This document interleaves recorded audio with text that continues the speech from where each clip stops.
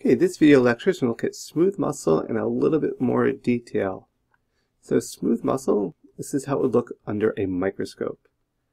Now, what we're looking at here, there's in that same image, cells are long and spindle shaped. They each contain a single nucleus, and cellular microfilaments are loosely organized. We often call these sheets of cells. So when we look at this image, it might be a little hard to be able to tell that look at the kind of representation image here, we see a, these distinctive features uh, coming into play. Now, a relaxed smooth muscle cell is going to look like this. Say they're kind of long spindle shaped. This is kind of what we mean.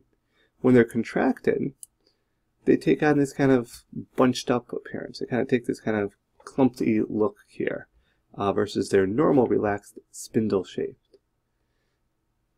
So where are where is smooth muscle found? Well, it's found in the walls of blood vessels, the stomach, and the intestines.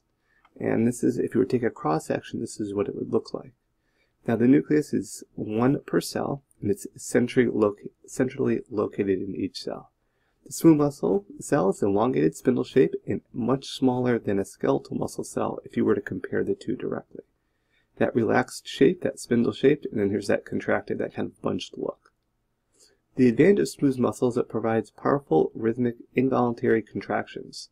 Uh, this is helpful to move food through the stomach, through the intestines, to help blood go through the vessels. Um, all these things are very important, and this involuntary means we don't have to think about it. They're known for their um, slow, sustained contractions.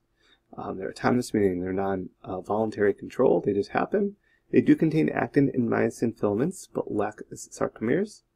And predominant locations are wall of the GI tract, that's the gastrointestinal intestinal tract, walls of the arteries and veins, and around glands is typically where you'll find these smooth muscles. So even though we don't have direct control over them, they do provide us with some very necessary uh, everyday functions of the body.